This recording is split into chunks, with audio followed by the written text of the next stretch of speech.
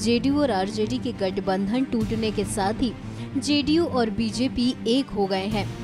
बुधवार शाम को जैसे ही नीतीश कुमार ने मुख्यमंत्री पद से इस्तीफा दिया, बीजेपी ने तुरंत उन्हें समर्थन देने का ऐलान किया और नीतीश ने भी बिना समय गवाए तय कर लिया कि वो गुरुवार को एनडीए के समर्थन से बिहार में नई सरकार बनाएँगे।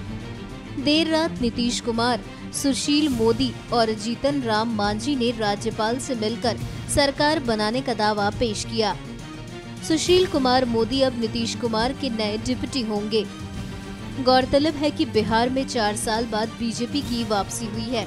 2013 में बिहार में जेडीयू और बीजेपी की सरकार थी। उसी वक्त नीतीश कुमार मोदी को प्रधानमंत्री उम्मीदवार बनाए जाने की वजह से खफा हो गए थे। और उन्होंने एनडीए से नाता तोड़ लिया था। 2015 में बिहार में कांग्रेस, जेडीयू और आरजेडी के बीच महागठबंधन हुआ।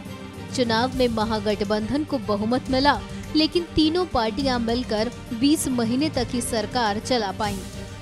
महागठबंधन पहले ही हिचकोले खा रहा था, लेकिन तेजस्वी यादव पर लगे करप्शन के आरोप महागठबंधन की ताबूत में आखिरी की साबित हुआ। और नीतीश महागठबंधन से वापस हो गए और बीजेपी के साथ मिलकर नई सरकार बना ली। न्यूज़ एक्सप्रेस की रिपोर्ट।